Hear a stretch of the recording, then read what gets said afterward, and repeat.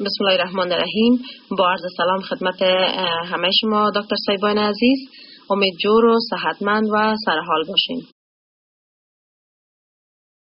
موضوع لکچر امروز ما در مورد امینوریا یا انقطاع عادت ماهوار می باشد که شما را به این لکچر خوش آمدید می گم. عناوینی که در این لکچر گنجانیده شده شامل تعریف amenorrhea، types of amenorrhea، etiology, clinical findings, lab exam, management و در اخیر هم complications می باشد. امینوری عبارت از غایب شدن یا انقطاع غیر نرمال سکل عادت ماهوار می باشد یعنی توقف سکل عادت ماهوار در زمان حیات تناسلی یک خانم را بعد از بلوغ الا قبل از منوپوز به نام امینوری یاد می کنند. classification یا تصنیف امینوری امینوری به دو می باشد physiological امینوری و pathological امینوری حالات فیزیولوژیک امینوری شامل زمان قبل از بلوغ، حاملگی، شیردهی و منوپوز می باشد و امینوری پاتولوژیک به دو می باشد primary امینوری و secondary امینوری پرایمری امینوری یا امینوری اولیه عبارت از عدم موجودیت عادت ماهوار الا سن 14 سالگی همراه با عدم انکشاف خصوصیت جنسی ثانوی می باشد و یا عدم موجودیت سکل عادت ماهوار الا سن 16 سالگی با وجود انکشاف خصوصیت جنسی ثانوی می باشد. secondary امینوری یا امینوری ثانویه عبارت از عدم موجودیت یا انقطاع سکل عادت ماهوار در ظرف سه ماه پی در پی نزد خانم که قبلا سکل عادت ماهوار منظم داشته یا شش ماه پی در پی نزد خانم که قبلا سکل عادت ماهوار غیر منظم داشته است می باشد. اما در صورتی که حمل وی رد گردیده باشد. اتیولوژی یا اسباب. شایدترین علت امینوری در سنین باروری حاملگی است. ولی به صورت عموم عوامل امینوری بغیر از حاملگی قرار زیلند reproductive outflow tract abnormalities یا ابنرمالیتی ها یا ناهنجاری های مجرای خروجی دستگاه تناسلی اووریان دساردرس یا امراض تخمدانی پچیوتری دساردرس یا امراض غده نخامیه hypothalamic disorders و یا امراض غده هایپوتالاموس miscellaneous endocrine disorders و سایر آفات اندوکراین. که در مورد هر کدام مفصلا در سلاید های بعدی صحبت خواهیم نمود. ناهنجاری های مجرای خروجی طرق تناسلی شامل Müllerian agenesis یا Mayer Rokitansky Küster Hauser syndrome vaginal agenesis transverse vaginal septum testicular feminization imperforated hymen cervical stenosis و Asherman syndrome می باشد که هر یک را به طور مفصل در سلاید های بعدی مورد بحث قرار خواهیم داد. Müllerian agenesia که به نام Mayer Rokitansky Küster Hauser syndrome هم یاد می گردد عبارت از عدم موجودیت مهبل رحم و یا هر دو به صورت ولادی می باشد که در نزد این مریضان ساختمان های کروموزومی XX موجود بوده و به علت مولارین اجنزیا یک بر سه سفلی محبل تشکیل می شود اما دوی سه سیولوی محبل و رحم تشکیل نمی شود و موجود نمی باشد. لذا اعضای تناسلی خارجی این زنانه بوده و همچنان ها و صفات ثانوی جنسی در نزد این طبیعی می باشد اما انومالی های کلیوی و عظمی در نزد این مریضان دیده می شود. عدم موجودیت محبل و رحم از نایه پرینیال و ماینه رکتال تثبیت می گردد و همچنان ماینه آلتراساوند در تشخیص اجینزی مولاریان کمک کننده می باشد. قسمی که در تصویر مشاهده می‌کنین رحم و محبل اصلا تشکل نکرده و موجود نمی باشد. وجینال یکی از ابنرمالیتی های مجرای خروجی تناسلی بوده که در این حالت محبل موجود نمی باشد. ترانسفرس وجاینال سپتوم یک نوع دیگری از اختلالات مجرای خروجی دستگاه تناسلی می باشد که در این حالت بقایای روشیمی در یک بر سه سه سفلی محبل به شکل یک پرده یا سپتوم مسترز وجود دارد که از اثر عدم اتصال سیستم مجرای مولاریان حین مهاجرت به سمت پایین با ساینس یوروجنتال در قسمت پایین محبل به وجود می آید و دستگاه تناسلی در نزد این مریضان نرمال می باشد وقات آن نسبت به مالاریان اجنزیا کمتر بوده و تشخیص با ماینه اولتراساند صورت می گیرد قسمی که شما ترانسفرز و جنرال سپتام را در قسمت مدخل محبل در این تصویر هم مشاهده کرده می توانید. Asherman syndrome که یک وضعیت اکتسابی می باشد در اثر التصاقات و یا چسبندگی های داخل رحمی ایجاد می گردد. شایعترین علت آن عبارت از کرتاژ های متعدد و خشن به تعقیب سقط بوده اما انتانات خصوصا انتانات توبرکولوزیک myomectomy و cesarean section نیز به ندرتا سبب Asherman syndrome می گردد. اعراض را که ایجاد می کند شامل امینوری ثانویه، دسمینوری، هایپومینوری و همچنان قامت و سقف می باشد. قسمی که در تصویر مشاهده می‌کنیم در حالت نرمال رحم جوف کاملا پاک و آری از التصاقات داشته در حالی که در اشرمن سندروم التصاقات در داخل جوف رحم دیده می شود. امپرفریتد هایمن یکی از انومالی های ولادی می باشد که در آن غشای بکارت بدون مجرای خروجی بوده و فوهی خارجی محبل توسط غشای بکارت کاملا مزدود شده و تا زمان بلوغ بدون اعراض باقی می ماند اما بعد از بلوغ بلجنگ ناشی از هماتوکلپوس یا تجمع خون عادت ماهوار در کانال محبل در قسمت غشای بکارت دیده می شود و تشخیص عموما توسط اعراض کلینیکی واضح می گردد. سروایکل استنوزز یا تضایق آن قرحم یکی از اسباب دیگر امینوری بوده که ندرتا دیده می شود لیکن بعد از عملی جراحی بالای آن قرحم بعد از رادیشن یا شعا بالای آن قرحم و بعد از انتانات مزمن آن قرحم با وجود می آید. قسمی که در این تصویر هم مشاهده می‌کنین کانال سروکس رحم بسیار زیاد باریک بوده که مانع عبور خون عادت ماهوار از جوف رحم به خارج می گردد. testicular feminization که به نام androgen insensitivity هم یاد می گردد افراد مبتلا به این حالت قادر به ساختن انزیم 5 الفا ردکتاز به صورت ولادی نیستند که این انزیم مسئول تبدیل کردن تستوسترون به dihydrotestosterone است و سبب ایجاد اعضای تناسلی خارجی مذکر می شود. در این انومالی چون در مقابل های مذکر یا مردانه یک عدم حساسیت وجود دارد بنان اعضای تناسلی خارجی به طرف معنیس شدن می رود در حالی که اعضای تناسلی داخلی مذکر وجود دارد یعنی از لحاظ کاریوتایپ XY دارند. سوی هورمون تستوسترون در خون بسیار بلند بوده و با تبدیل شدن آن به استروژن سطح استروژن نیز بلند می رود و در نتیجه در نزد این مریضان ها بزرگ می شود و قسمی که در تصویرم شما می‌بینین اعضای تناسلی خارجی معنیس بوده در حالی که اعضای تناسلی داخلی مذکر است و در نزد این مریضان رحم تخمدان محبل وجود ندارد. گناهها باید در نزد این مریضان کشیده شود زیرا در 20 فیصد واقعات سبب سرطان میگردد. اووارین دیساردرز یا امراض مبیزی که سبب امینوری می گردد شامل anovulation، gonadal dysgenesia، premature ovarian failure و resistant ovarian syndrome می باشد که هر کدام را به صورت جداگانه مورد بحث قرار خواهیم داد. ان یا عدم تبیض. حالت است که تخمه در تخمدان به پختگی نرسیده و در طول سکل ماهوار آزاد نمی گردد و اکثرا سکل های بدون تبیض باعث بینظمی سکل عادت ماهوار می شود از جمله امراضی که باعث anovulation می گردد عبارتند از polycystic ovarian disease می باشد که بسیار زیاد معمول بوده که در تیان تخمه از تخمدان آزاد نمی گردد و همچنان hyperprolactinemia یا بلند بودن سویه پرولکتین خون که این حالت نیز سبب سکل های بدون تبیض شده و در نتیجه در نزد مریضان امینوری ایجاد می گردد. gonadal dysgenesis هنگامی که کاهش فولیکولی قبل از بلوغ رخ می دهد دسجنیزی گونادی نامیده می شود این حالت شایدترین علت امینوری اولیه تقریبا در 30 تا 40 فیصد وقات می باشد و در نتیجه نبود فولیکول های تخمدانی یا کاهش فولیکول های تخمدانی در حیات داخل رحمی یا اولین سالهای زندگی رخ می دهد. های این بیماران تنها حاوی استروما هستند که توسط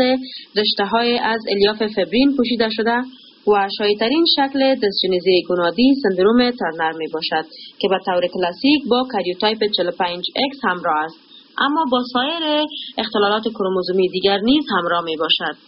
گرچه کمتر شایع است اما افراد مبتلا به دسجنیزی گنادی ممکن است karyotype 46XX یا 46XY داشته باشند که به نام سوایر سندروم یاد می گردد. بسیاری از خانم های مبتلا به دزجنزی گنادی از زمان نبود فولیکول های تخمدانی هیچ نوع هورمون جنسی مانند استروژن و پروژسترون را تولید نمی کنند تا خصوصیت جنسی ثانوی نزدشان رشد کند. لذا این خانم ها اعضای تناسلی طفلا ندارند ولی چون غده هایپوفیز گونادوتروپین ها را افراز می کند بناهن سوی گونادوتروپین های نخامی مانند FSH و LH نزد آنها بلند می باشد و نزد مبتلایان دسجنزی گونادی بعضا انومالی های دیگر مانند کوارکتیشن ابهر و انومالی های کلیوی نیز موجود می باشد.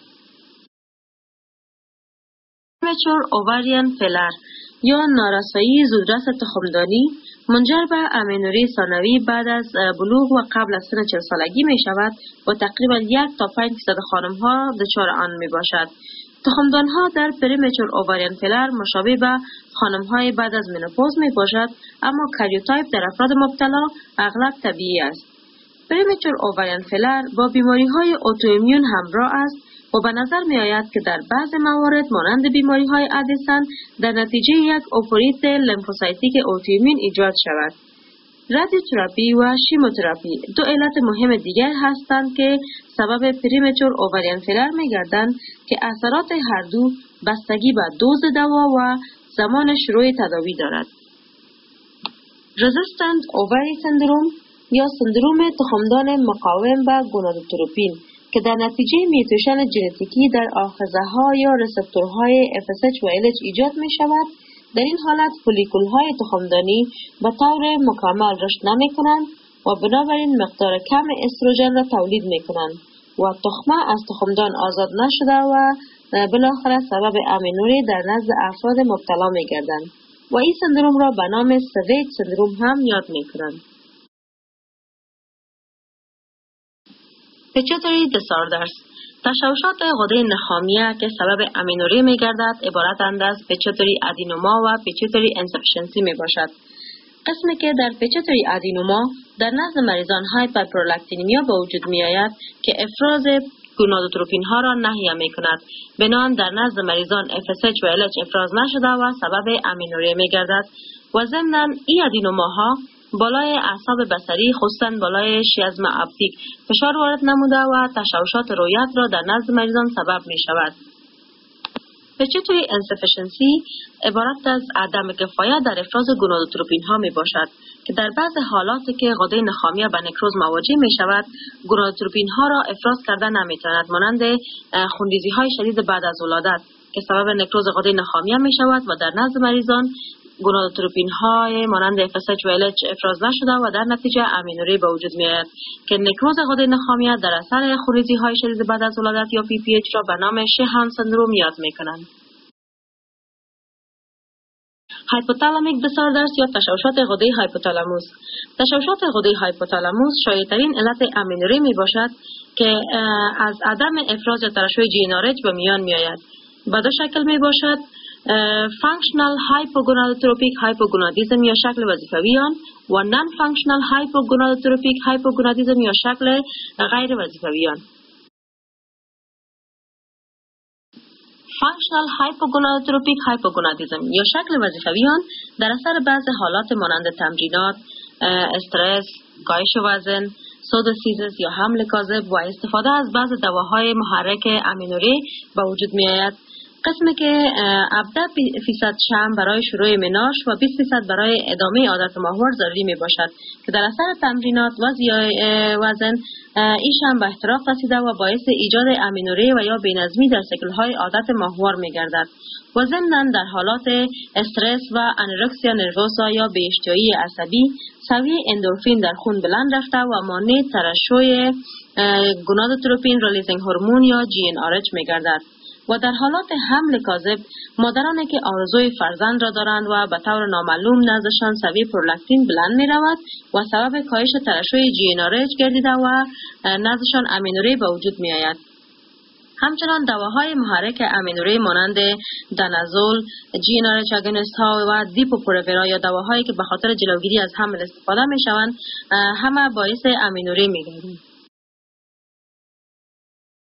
non functional hypogonadotropic hypogonadism یا شکل غیر وظیفوی آن در اثر بعض حالات پاتولوژیک مانند تومورهای هایپوتالمی مثل craniopharyngioma، tuberculosis، sarcoidosis سبب تخریب ساقی هایپوفیز گردیده و مانع انتقال موثر GnRH به هایپوفیز می گردد که در نتیجه آن FSH و LH ترشح نمی گردد و در نزد مریضان امینوری به وجود می آید. و در بعض حالات نادر کمبود GnRH ممکن است به شکل ولادی باشد مانند Kallmann syndrome که با نقایص craniofacial، anosmia، امینوری اولیه و دستگاه تناسلی طفلانه همراه می باشد. بعض آفات endocrine ی که سبب امینوری در نزد مریضان می گردد عبارتند از hypothyroidism و Cushing syndrome می باشد. قسمی که در hypothyroidism سویه پایین TSH سبب افزایش سویه پرولاکتین گردیده و در نزد مریضان hyperprolactinemia ایجاد می گردد که در اثر آن افراز گروتروپین ها از غده نخامی نهیه گردیده و نزد مریضان امینوری به وجود می آید و همچنان در کاشنگ سندروم افزایش فعالیت غده ادرنال باعث افزایش تولید اندروژن ها گردیده در نتیجه نزد مریضان هایپر اندروژنیمیا به وجود می آید که هایپر اندروژنیمیا سبب نهی افراز جینارج از هایپوتالاموس شده و جینارج به نوبه خود سبب نهی افراز FSH و LH می گردد و در نزد مریضان امینوری به وجود می آید. در تمام نواقات امینوری در قدم نخست باید پرگننسی در نزد خانم رول اوت شود. تظاهرات کلینیکی. عموما اعراض علائمی که در سیر امینوری در نزد خانم ها ایجاد می گردد عبارتند از انقطاع cycle عادت ماهوار افرازات شیری از ثدیه ها که از باعث hyperprolactinemia می باشد hair loss یا موی رفتگی از سبب hyperandrogenemia یا بلند بودن اندروژن ها در نزد خانم ها headache یا سردردی از سبب تومورهای غده هایپوفیز تشوشات رویت از سبب تحت فشار قرار گرفتن chiasma optic یا عصب بصری توسط تومورهای غده هایپوفیز و همچنان رشد اضافی موی در قسمت های وجه از سبب بلند بودن سوی اندروژن در نزد خانم ها به وجود می آید. نکاتی که در تشخیص امینوری در نظر گرفته می شود عبارتند از تاریخچه رشد نمو بوده چون عقد تاریخچه دقیق در تشخیص امینوری کمک می نماید. موجودیت یا عدم موجودیت اعراض سکلادت ماهوار تاریخچه امراض مزمن از دادن وزن یا موجودیت اختلال اشتها مانند anorexia nervosa تمرینات شدید ورزشی تاریخچه anosmia و تاریخچه فامیلی. نکاتی که در تشخیص امینوری ثانوی در نظر گرفته می شود عبارتند از شروع menarche یا اولین عادت ماهوار تاریخچه عادت ماهوار استفاده از contraceptive ها و تاریخچه حمل تاریخچه استفاده از ادویه ها تاریخچه فامیلی menopause زود هنگام انکشاف علائم وریلایزیشن یا روییدن ریش در نزد خانم ها galactorrhea اعراض عصبی مانند anorexia nervosa بر علاوه معاینات عمومی یک سلسله معاینات دیگری که در نزد مریضان امینوری اجرا می گردد عبارت از معاینه قد مریضان است زیرا در یک سلسله امراض مریضان قدشان کوتاه بوده مانند Turner syndrome و در یک سلسله امراض دیگر مریضان قد بلند می باشد مانند فرط حساسیت اندروژن ها و همچنان انکشاف خصوصیت جنسی ثانوی اختلال ساحه رویت در papilledema و همچنان معاینه حوصلی جهت دریافت abnormality های مجرای خروجی طرق تناسلی. معاینات لابراتواری. عموما معاینات لابراتواری که در نزد مریضان امینوری اجرا می گردد شامل pregnancy test یا تعیین سویه beta hCG می باشد به منظور تشخیص حمل. تعیین سویه پرولاکتین خون به منظور تشخیص حالات hyperprolactinemia و همچنان تومورهای غده نخامیه اجرای thyroid function test به منظور تشخیص آفات غده درقیه مانند hyperthyroidism یا hypothyroidism و همچنان تعیین سویه گونادوتروپین ها یا FSH و LH و تعیین سویه اندروژن ها می باشد. بر یک سلسله معاینات دیگر در نزد مریضان امینوری اجرا می گردد مانند ultrasound و منظور دریافت anomaly های طرق تناسلی و اجرای CT scan و MRI دماغ و منظور دریافت کتلات و تومورهایی که در غده نخامیه قرار دارد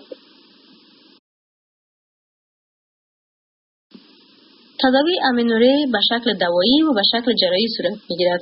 تداوی دوایی آن به اساس تشخیص صورت می‌گیرد. قسمی که در خانمای مصاب premature ovarian failure چون اعراض علایم menopause در نزدشان ایجاد میگردد مانند دلتنگی شدید و همچنان hot flashes لذا oral contraceptive توصیه میگردد و در واقعات anovulation خانم هایی که خواهان اولاد هستند در نزدشان ovulation توسط clomiphene citrate تحریک می گردد اما خانم هایی که آرزوی اولاد را ندارند برایشان oral contraceptive توصیه می گردد و در واقعات hyperprolactinemia dopamine agonist و bromocriptine توصیه می گردد که سبب کاهش سویه پرولاکتین در خون می گردد و همچنان تداوی جریان برطرف نمودن یا اصلاح نمودن نقیصه های ولادی می باشد قسمی که در وجینال اجینیزیا عملی وجینوپلاستی صورت می گیرد و وجینال سپتوم و امپرپریتد هایمن به طریق جرایی اسلام می گردد و سپتوم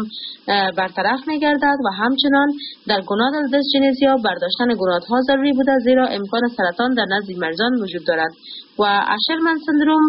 در Asherman syndrome برطرف نمودن التصاقات از طریق کنترل با hysteroscope صورت می گیرد و ادامه تداوی با استروژن و پروژسترون و تطبیق یک bag کوچک در داخل جوف رحم و یا تطبیق IUCD در داخل رحم کمک کننده است. اختلاطات امینوره شامل infertility، severe osteoporosis and fractures و endometrial hyperplasia می باشد که infertility یا عقامت از سبب عدم ovulation یا تبیض در نزد خانم ها ایجاد گردیده و osteoporosis شدید یا پوکی استخوان شدید که سبب کسور عظام هم میگردد در اثر کاهش سویه استروژن به میان آمده و endometrial hyperplasia از سبب عدم واقع شدن menses جدار endometrium نشو و نمو نموده و باعث ایجاد hyperplasia میگردد.